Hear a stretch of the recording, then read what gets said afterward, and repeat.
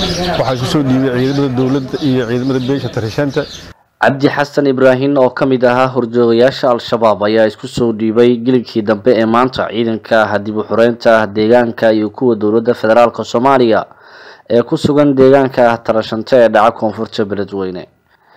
Horjooga cabdi xasan ayaa al-shabaab u qaabilsanaa dhanka gaadiidka. Waxa uu ka mid ahaa shabaab muddo toddoba sano ah jabka al-shabaab ka soo gaaray dagaaladii hiiraan iyo ficilada guracan oo shabaabka ay u geysteen dadka reer hiiraan ayuu xusay inay ku kaliftay inuu ka tanaasulo fikirkii kooxda xagjirnimada ee al-shabaab. Saaxiibadiisii hore ayuu ugu baaqay inay isu soo dhiibaan ciidanka dowladda iyo kuwa dib xureynta ee ku sugan gobolka hiiraan maadaama uu sheegay in shabaabka muddo fara badan ay qaldayeen dadka iyaga ka midka ah bismillaah waxaan ahay cabdi xasan. Waxaa isu soo dhiibay ciidamada dowladda iyo ciidamada beesha tarishanta oo ay qaabileen waan nabad qabaa walaalihii aan la shaqeyn jiro halkaas jira waxaa ka codsanaya wax warkayga hadduu soo gaaro inay isku soo dhiibaan ciidamada dowladda. Lixsanaa ku jiro waxaan u qaabilsanahay darawal taliyaha guutada shanaad qaybta toddobiy labaatanaad ee ciidanka xoogga dalka korneyl maxamuud xasan ibraahim baakay saraakiil kale oo ka tirsan guutada shanaad iyo sidoo kale saraakiil ka mid a ciidanka dib xureynta deegaanka ayaa dhankooda warbaahinta la hadlay. Waxa ay ballan qaadeen in askarta iyo horjoogayaasha shabaabka ay sidan si lamida u soo dhoweyn doonaan. Waxa ayna soo dhoweeyeen horjooge cabdi xasan ibraahim bismillahi raxmaan raxiim waa mahadsan tahay bahda saxaafadda waxaan ku sugannahay deegaanka tarajante. Waxaa gacantayda midig taagan cabdi xasan cabdi xasan oo iska soo dhiibay nimanka la baxay shabaab. Muddo lix sana ah ka mid ahaa. Deegaankan shalay way soo weerareen. Cashar lama ilawaanaha lagu siiyey. Cabdi xasanna waa isa soo dhiiba muddo lix san uu la shaqaynahayey waxaan go'aansaduu yidhi sida asaga haddaba uu qiran doono inaan ka tanaasulo fikirkii xagjirnimada lagu dhibaataynaya muwaadiniinta soomaaliyeed. Sidaas awgeed shaksiga dagaalamahayo oo weli qoriga sita oo la dagaalamahayo ummadda soomaaliyeed iyo shaksiga inta go'aan qaato ka soo taga fikirka xagjirnimada isku soo dhiiba dowladdu saacan laga bilaabo waa nooga sokeeyaa kuwa qoryaha sita oo weli duurka ku jiro oo dagaalamahayo inay wax dilaan u taagan.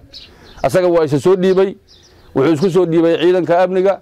Hadday ahaan lehed ciidamada deegaanka oo ka shaqeeya deegaankan iyo kuwa dowladdaba saaka laga bilaabana wuxuu ugu jiraa gacanta gacanta dowladdu ku jira. Dowladda ayaa qaabkay ugu talagashay marin doonto. Waxaana leeyahay kuwa la midka ah ee asaga weli ku dambeeya nimanka khawaariijta ah ha ka tanaasulaana fikirka xagjirnimada ay ku jiraan ha isu soo dhiibaana gacanta. Cabdi xasan soo dhowo waan leenahay toddoba sano ka hor markuu maqnaay oo intuuna gaarin ka hor saaxiibaan hajir hadda hadduu imaayeyna saaxiibtinimadeenni ilma adeernimadaan iskula joognay sideedii u tahay. Hal kelmadaan rabaan bas inaan ku daro. Baryaan dambe hiriiraanka oo isxantaan waxaa la yidhi hebelaa yimidoo ciddiisu isku dhiibay. Hebel kalaa yimidoo ciddiisu isku dhiibay. Hebel kalaa yimidoo ciddiisu isku dhiibay.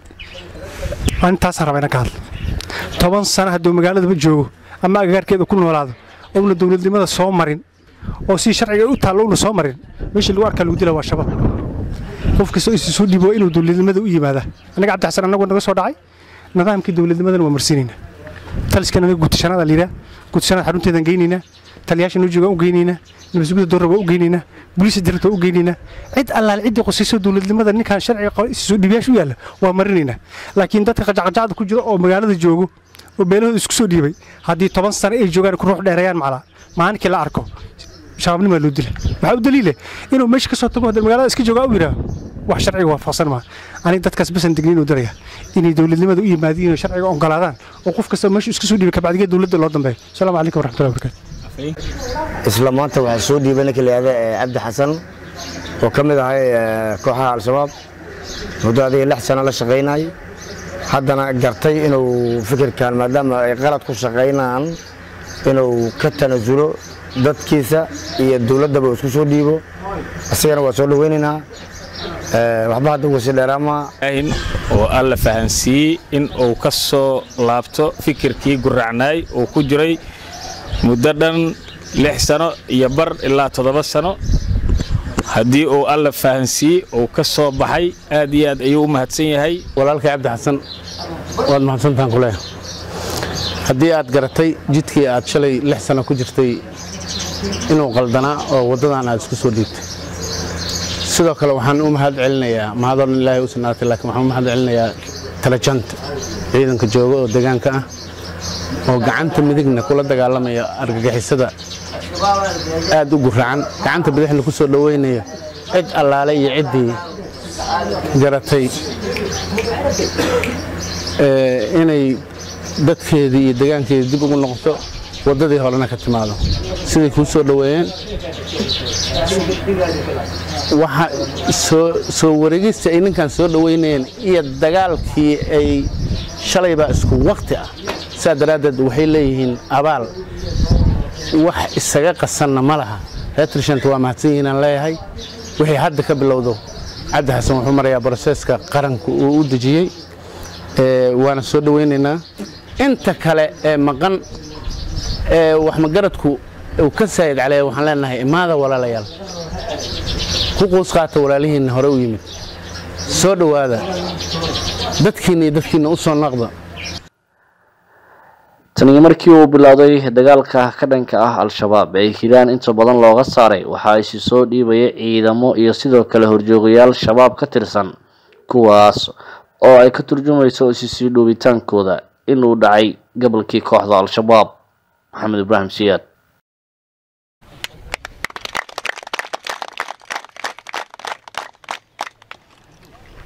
Waxaan rabaa in lagu dhiirado nimankaas loo bareero eeg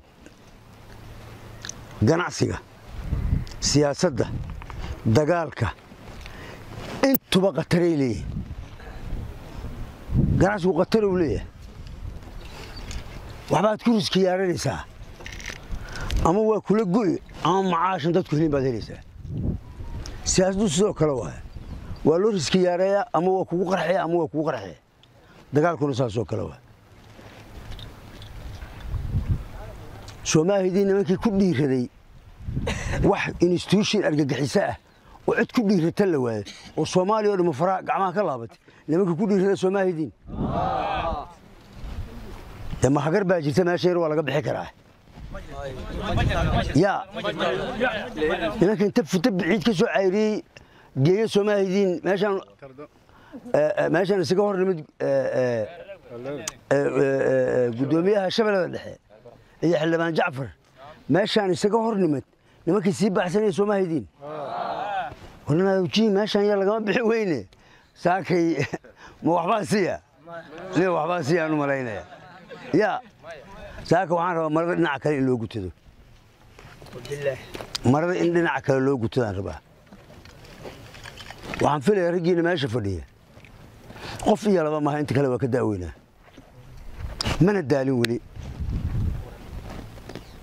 war nin aan dhali karo ama aan dhawey karaa inuu daara meesha kuma jirto. Fiiri waxaa kaloo dhan waa laga maarmi karaa. Lacag la'aan waa la noolaan karaa. Maxaan wax walba waa laga noolaan karaa. Laakiin sharaf la'aan yaa noolaan kara ya qofaaban sharaf la'aan noolaan karin ummad dhan oo sharaf beesha ka warrama. Wallaahi iyo bilaahi iyo tallaahi waa anigaa idii dhaartee. Inta shabaab meeshaa fadhiya wax sharaf inaan la arkin sababtaa gabadhaadii wuxuu ku kaxaysanayaa meherlaan marka aabbaheedu inta degan ayuusan weydiinan wuxuu ku leeyahay anaa qaba. Oo see ku guursa aabbihii waa kane ma masaafayn. Aabba ma weydiisan. Meeshiisuu ku haystaa. Wiilkaaga wuxuu doonayaa inuu isqarxi yidhaha kaala dagaalgal. Xoolo cunayaan aduu kaa rabaa. Islaantu isticmaalayaan aduu bulaxan eeg. Eeg bulaxan. Ma waxaan aragnaya waxani maalin dambana waa kugu sifaadee qoortuu kaa goynayaano markaasuu weliba wuxuu leeyahay ilaahay baan ugu dhowaanaya waxaan tegey meel la yidhaahdo mooro ari. Yaan ayaan odayaashii jooga waa hadleen inaad meediyaa ka aragteen waa laga yaabaa maxay yidhaha intay dadka dilaan oo xoolaha dhacaan oo wax walba sameeyaan ay leeyihiin diin baan ka wadnaa qoftii diidana waa dilaynaa waxaa annaga diin bay nala tahay qoftii diidana waa dilaynaa inay yidhaheen ma ummad waalanaa markay kaa tagaan waxaa isleedahu nimadooda ku hadla ma dad waalanay ilaa waxba ma dhihi yiri moogta qoryo wataan waraa maantay jaban yihiin ma kula dhiiranaa wallaahi bilaa maantay liitaan ma kula dhiiranaa haddaad nooshihiinna sharaf baad ku noolaanaysaan. Haddaad dhimataanna sida eh, eh, eh, laga soo wariyey sharciga islaamka ku cad ajar waxaad helaysaan jannaad helaysaan waayo sayidina cali dadkii ayagoo nool ifka ilaahay jannada ugu ballan qaaday. Dadkii dila waa. Sayidina cali ayagu sooma dilin cumar bin khadaabna yaa dilay ayagaa dilay waa amiiru mu'miniin ah ay dileen. Waagan adinkana inay dilaan rabaya waa imtixaan adduunka lagu soo daayey. Fiiri hadda magac baan idiin baxay.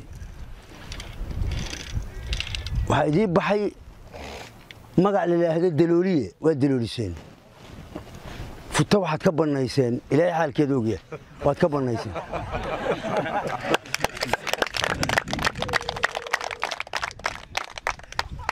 Soomaali oo dhan baa idiin qirsan. Kuwii dib dad dibka naaxaha la sheegi jiree kuwii dib ka leecayaa inay noqon. Kuwa dib leeca inaynaa noqonaan rabaa. Sidii uu sheegay haddaana qaldanayn madaxweynaha jamhuuriyadda soomaaliya ee uu yidhi qofkii ka soo gala shabaab ee si toosa isu soo dhiiba waa la cafinayaa dee ilaahay baa wax cafiya laakiin madaxweynaha jamhuuriyadda ayay u bannaan tahay inuu wax cafiyo. Anugu waxaan ku darayaa kii mid shabaaba soo dila isaguna shabaaba ee shabaab kale soo dila ee soo gala lacag inaan siinayno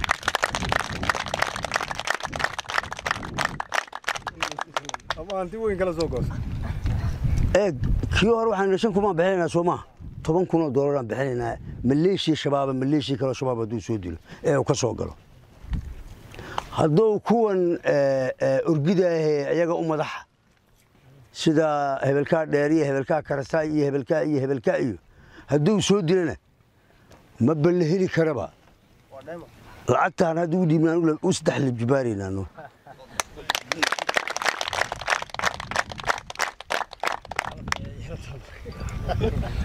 aniga waxaa laga yaabaa cali jiiti lacag ma hayaa iyo dadku inuu isweydiiyo aniga beenta waxay gu raacayaa ma jiraanba. Waxaanan yeelayn maba yeelayaan idhahdaa marka hore. Qofkii shabaaba oo qof kaloo shabaaba dila ayaan dhawaada dhinac loola cararay bahashii aanan u wadin oo kale baa lala aaday. Ma qusayso hooyadii ma qusayso oo wiilku dhala ma qusayso oo islaantiisa ma qusayso. Only asagay qusaysaa qofka. Qofkay qusaysaa. Marka eeg anigi wiilkaan laba qaangaar haddaan noqonin isku dembi miyaana asaguna wuxuu geystooli anna waxaan geystaan leh dad islaamana waa nahay moogtaadi kuwa shabaabka ee wiilasha yaryar ee soomaaliyeed dhiiggooda caadaystay inay bannaystaan brofit ku raadiyaan. Waradeer kuwooda ilaalinaysaan soo dila. Lacag baanu siinaynaa. Cafisna waa tihiini. Madaxweynihii jamhuuriyadda idiin ballan qaada cafiska. Anna lacagtii aan bixinayaa. Maxaa idinka hallaabaya yaa adduunka meeshaa doontaana waa tegaysaan haddaad caldheere soo dishaan soddon kun oo doolaraan bash kugu siina. Madaxweynuhuna waa ku cafinaya wixii kaloo aad ka sii heli kartana ka hel. Dhabbahaaga hor u qaadno.